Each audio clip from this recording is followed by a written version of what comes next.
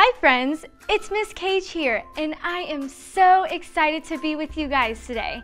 Today is the last day of one of my favorite series called Life of the Party, where we are learning about the life of the party, which is Jesus himself. Hey, I need some help figuring out which clues go with our Bible story today. So let's see. Our story today is one of my favorites. Boys and girls, I'm going to need your help choosing which clue goes with our story. Let's see if we can figure it out together. Okay friends, our story today takes place during a really big party.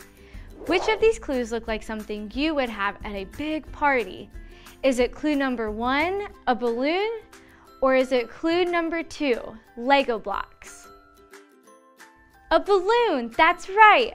I love having balloons at a party. Let's find our next clue. It has something to do with animals. Is it clue number one, a bed, or is it clue number two, a donkey? Great job, friends. It's a donkey. Okay, boys and girls, our last clue has to do with some kind of plant. Is it clue number one, a palm branch, or is it clue number two, a car? It's clue number one. Awesome job, friends. Thank you so much for your help finding our clues.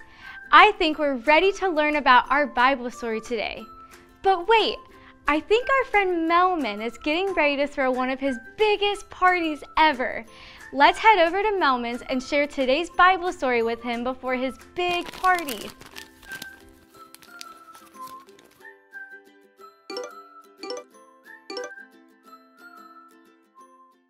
It's a party, everyone's invited. Oh, hey, Melman. Melman? Don't you know my name is the party animal? Oh, that's right. I'm so sorry. It's okay.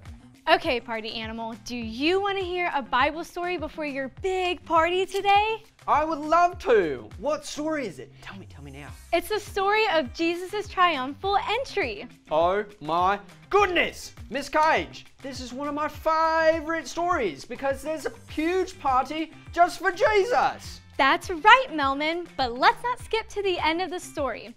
So while Jesus was on earth, he taught the people about God's love and performed many miracles, like raising people from the dead. You raise me up so I can stand. Okay, okay, Melman. Let's continue with our story. The Jewish people of Jerusalem were celebrating a festival called Passover, and Jesus wanted to go to Jerusalem to celebrate with them. Celebrate good times. Come on. Come on, Miss Cage. You can party harder than that. That's right, Melman. Then Jesus told two of his disciples to start going to Jerusalem without him and to bring him a donkey that no one has ever ridden before. Wait, a donkey? Like an animal that goes hee-haw, hee-haw. Um, yes, something like that. Anyways, when the people of Jerusalem heard he was coming into town, they were so excited because they had heard about all of the amazing things he's done. They were so excited they cut palm branches and ran to see him. I'm so excited, da, da, da, not just can't hide it. Okay, okay. When the people got to where Jesus was entering, they laid down their coats on the roads in front of him, and Jesus' followers began to shout and sing as they followed behind him, praising God for all of the amazing miracles they've seen. Wow, Miss Cage, it sounds like everyone was so happy and having fun celebrating Jesus and throwing him the biggest party ever. That's right, Melman. They were so excited to be celebrating Jesus. Melman, that actually reminds me of our big idea today. Jesus is fun to celebrate. Friends, can you say that with me? Jesus Jesus is fun is fun to celebrate. to celebrate. Great job, boys and girls. Melman, I mean party animal, thank you so much for bringing all of the fun today. Are you ready to throw your biggest party yet today? I'm so ready. I'm so excited. Da, da, da. Not just can't. Um, okay, bye, Melman. Friends, I had so much fun learning about the life of the party, Jesus.